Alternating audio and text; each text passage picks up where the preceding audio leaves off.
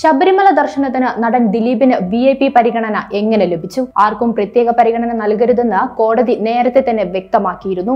എന്നിട്ടും ദിലീപിന് പരിഗണന നൽകിയതാര? മലകയറി അയ്യപ്പനെ കാണാൻ എത്തുന്ന ഭക്തന്മാരെല്ലാം സമന്മാരാണ്. രണ്ടും മൂന്നും മണിക്കൂർ ക്യൂ നിന്ന് ദർശനം നടത്താൻ കഴിയാതെ ഭക്തർ മടങ്ങിപ്പോകുന്ന സന്ദർഭം വരെ ഉണ്ടായിട്ടുണ്ട്. അവിടെ നിന്നാണ് വി പരിഗണനയിലൂടെ ദിലീപ് ദർശനം നടത്തിയത്. ദേവസ്വം ബോർഡിന്റെ ഉദ്യോഗസ്ഥർ ദിലീപിനെ അനുഗമിക്കുകയും ശ്രീകോവിലിന്റെ മുന്നിലെത്തിച്ച് ദർശനം നടത്തിപ്പോകാനുള്ള അവസരം ഒരുക്കിയെന്നുമുള്ള ആക്ഷേപമാണ് ഇപ്പോൾ ഉയർന്നിട്ടുള്ളത്. വ്യാഴാഴ്ച രാത്രി ഹരിവരാസനം പാടി നട അടയ്ക്കുവോളം ദിലീപും സംഘവും സോപാനത്ത് ഒന്നാം നിരയിൽ നിന്നെന്നും ആരാണ് ഇവരെ ഇത്രയും സമയം നിൽക്കാൻ അനുവദിച്ചതെന്നും കോടതി ചോദിച്ചിരുന്നു. ദിലീപ് നിന്നതുകൊണ്ട് മറ്റാർക്കും മുന്നോട്ടു പോകാനായില്ലെന്ന് കോടതി ചൂണ്ടിക്കാട്ടി.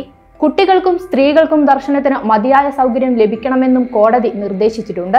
ഇത്തരം കാര്യങ്ങൾ നിയന്ത്രിക്കേണ്ടത് തിരുവിതാംകൂർ ദേവസ്വം ബോർഡിന്റെ ഉത്തരവാദിത്തമാണ്. ആർക്കാണ് വീഴ്ച പറ്റിയത്?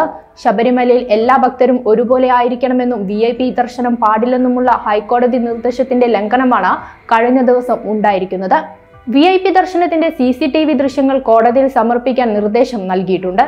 കുട്ടികളും പ്രായമായവരും ഉൾപ്പെടെ നിരവധി ആളുകൾ മണിക്കൂറുകളോളം വരി നിന്നാണ് ദർശനം കഴിഞ്ഞിറങ്ങുന്നത്. അവർക്കിടയിലൂടെ ദിലീപ് മാത്രം എങ്ങനെ ദർശനത്തിനായി ബി എ പി പരിഗണനയിൽ നടയടക്കുവോളം സോപാനത്ത് നിന്നു. നടനായതുകൊണ്ടാണോ സ്പെഷ്യൽ സെക്യൂരിറ്റി സോൺ ആയിരുന്നിട്ട് പോലും പരിഗണന നൽകി കടത്തിവിട്ടത്? കേസ് കോടതി തിങ്കളാഴ്ച വീണ്ടും പരിഗണിക്കും. സ്വീകരിച്ച നടപടികളുടെ കാര്യത്തിൽ ദേവസ്വം ബോർഡ് സത്യവാങ്മൂലം ഹാജരാക്കാനും കോടതി ഉത്തരവിട്ടിട്ടുണ്ട്.